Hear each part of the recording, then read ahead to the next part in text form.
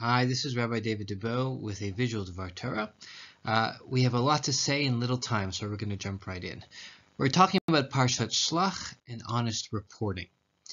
Now, as you all know, I'm sure, Rabbi Leo Dee. lost his wife and two daughters in a terrorist attack uh, just a couple months ago. He is suing CNN for $1.3 billion. Actually, he's just considering at this point but suing them for $1.3 billion because CNN reported the incident as a shootout. Christiane Amanpour said that they died in a shootout. Now later on she apologized and said she misspoke, but uh, Rabbi Dee, together with his lawyer, uh, Professor Alan Dershowitz, it's clear that this is not a simple mistake. This is a function of a long-standing editorial policy at CNN to make a moral equivalency, to not ever commit to saying that one side is wrong and the Israeli side is, is, is right, but to make terrorists equal to Israeli citizens. And so, of course, there has to be a shootout. There has to be something on both sides, which is ridiculous. These were um, innocent people driving home, gunned down in cold blood. What it shows is that there was a pre-conceived uh, notion that was behind the way they reported the incident. And I want to take that idea directly into our Parsha. The Parsha really is about honest reporting. And if we look carefully, there were only three verses that record exactly what happened uh, when the spies went ahead and toured Eretz Yisrael.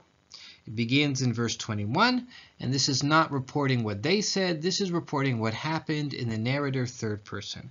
They went up and spied out the land from the wilderness of Tzin to Rechov to the entrance of Hamat.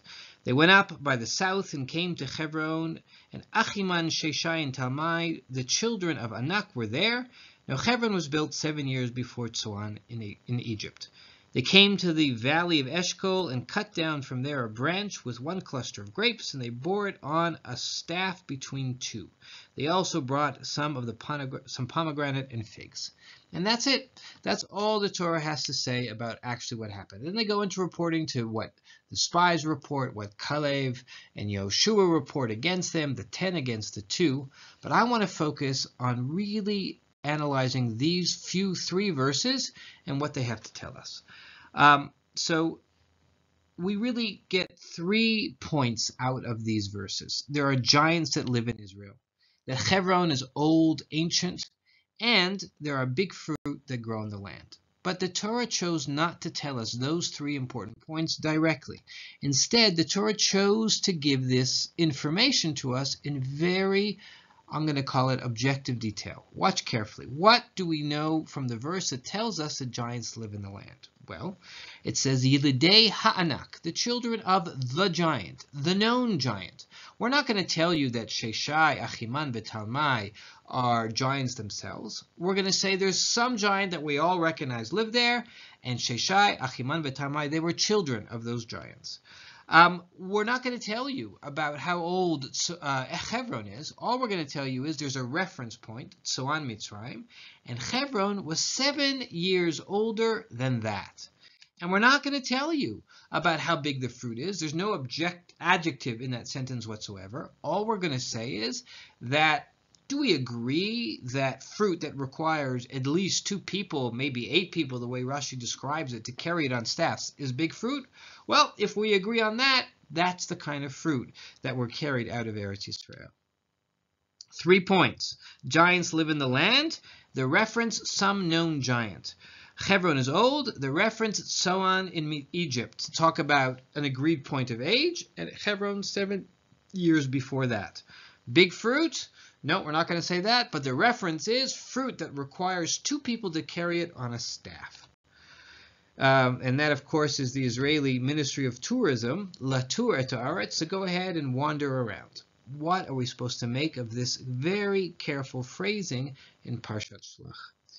I think the idea is really clear. Whenever you report something, the words that you choose, whether you're going to make reference to the fact that those gunmen were terrorists, or you don't make reference to the fact that those gunmen that killed the Dee children and the Dee wife were terrorists, it is always a choice and it always reflects a belief system. Use the word terrorist, that puts you into one belief system don't use the word terrorist, that puts you in another belief system.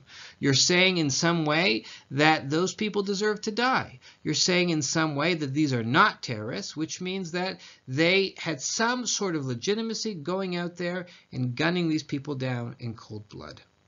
Rashi makes this point explicitly back in the Parsha. Um, at the end, the ten spies drop all pretense and they say quite clearly, Chazak hu mimenu. They are stronger than mimenu, which pshat, or a simple reading is, than we, than we are. They're stronger than we are. We can't do it. We can't uh, conquer this land. But Rashi says they were really speaking against God. Chazakhu mimenu means they were stronger than God. How does Rashi make this jump? The answer is, whenever you want to go ahead and report on something, Whenever you want to say how strong, how big, how powerful something is, you're always choosing points of reference. You're always reflecting an inner understanding of what you think to be strong and then making a reference from that.